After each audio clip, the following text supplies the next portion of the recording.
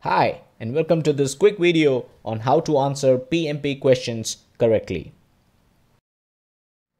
So when someone is trying to give PMP a shot and become a PMP certified project manager, he would have certain general questions. Questions like what are PMP eligibility requirements? What are contact hours? Since eligibility requirements include certain amount of contact hours how to fill up the PMP application and let me tell you it's a big one. How should I prepare? Which is the best book since there are a lot of books available out there? What is the passing score? now there are a lot of myths related to the passing score of the PMP exam.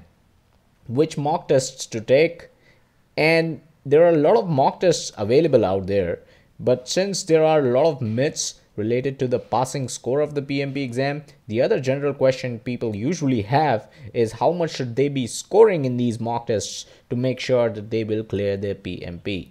But again, these are general questions and this blog and this video is not about these general questions because the answers to these are available everywhere, not here. So you can consult anyone who's already a PMP certified to get answers to these questions or you can always Google them out. Blog is about hitting the nail on the head and we are actually talking about the top 5 tips to answer PMP exam questions correctly. That's all, nothing more, nothing less. The top 5 tips that will help you answer PMP exam questions correctly. As always, you can check out our blog pmclounge.com.blogspot.com and I have a blog up which will talk about these five tips in much more detail. So the link to that will be in the description to check it out. All right, so let's get started.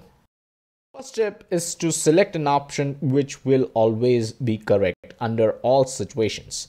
So there could be certain situations where you may think about selecting an option, but then PMP does not test about your personal preferences. PMP tests universal values. Let's take an example to understand this. You are getting late to a very important meeting that would decide the fate of a $2 million contract. If you turn up late, there is a 95% chance that the contract will be awarded to your competitor as the customer is very specific about time.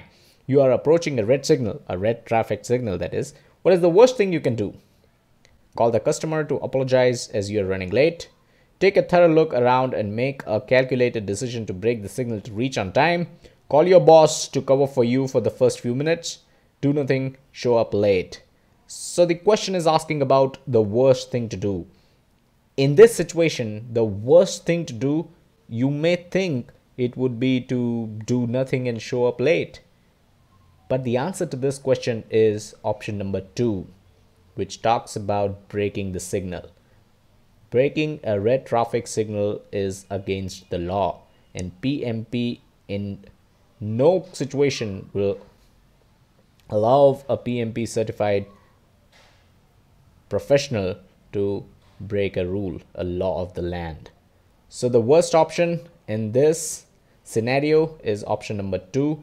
So like I said, the tip here is to select an option which will always be correct. Under no situation, under no circumstances, does PMP endorse that a certified professional breaks a law of the land. Let's move on.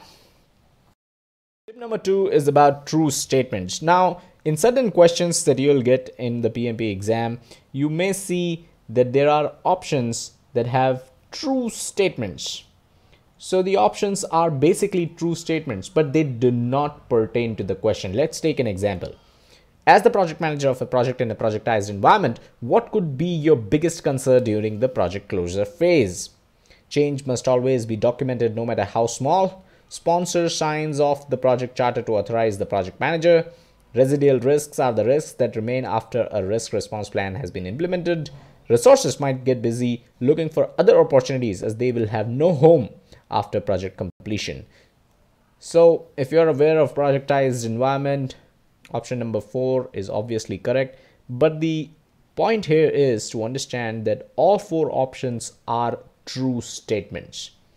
The first three just do not pertain to this question, but they are true statements. So there will be situations, there will be scenarios in your exam when you will get true statements as options, but they will not pertain to the situation.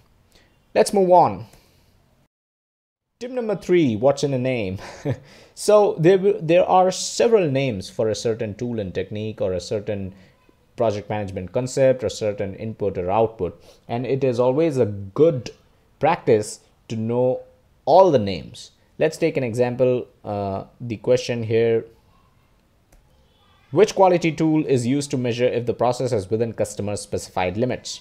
Fishbone diagram, cause and effect analysis, control chart, Ishikawa diagram. Of course, the answer is control chart, but do you realize that the other three options are one and the same thing? Fishbone diagram, cause and effect analysis, Ishikawa, they are all the same tool of quality.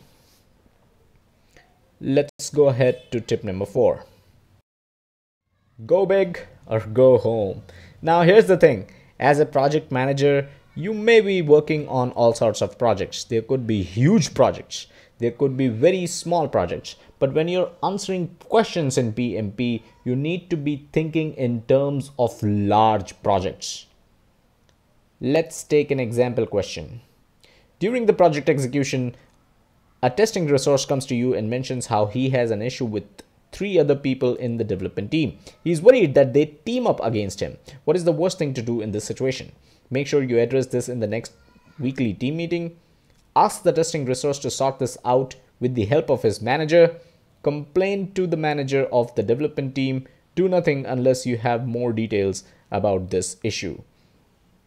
Of course, all four options are really bad here. We are asked to select the worst. Option number one is the worst thing to do in this situation.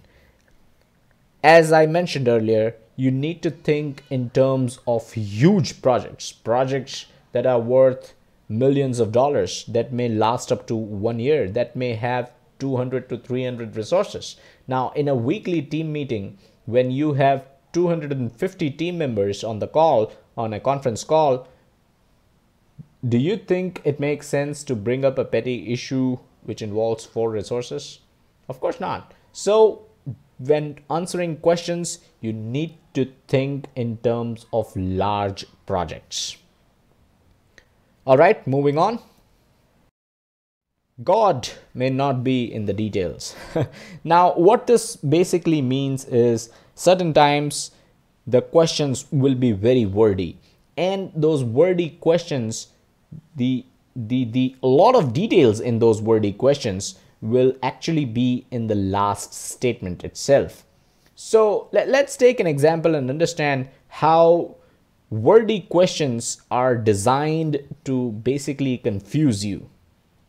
You're the project manager on a multinational software development project for a world known bank. Your brother works at the business partner, which provides external consultants for the same project you have just completed negotiations and signed a multi-year contract with the business partner company. The consultants work on three different continents and time zones and thus communication is sometimes an issue. Which of the following best improves team cohesion and ensures easy team coordination?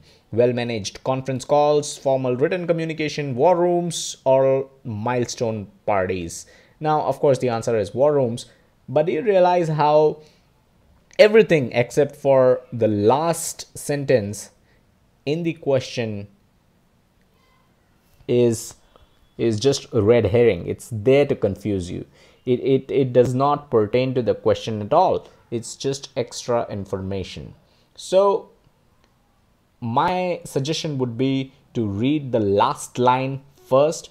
It is it is it is not always possible and it is not always necessary that a wordy question, a big question, has a lot of red herring in, in, in, in all cases. And there's the and the question is actually in the last line. It may not be always true but most of the times it will be true. And it is always a good practice to read the last line first. It will give you much better idea of what the question is asking about. So those were our five tips. I thank you a lot for watching this video and do like, share, subscribe, and comment on this. And as always, you can check out the blog pmclounge.blogspot.com for more PMP resources. Thank you and have a nice day.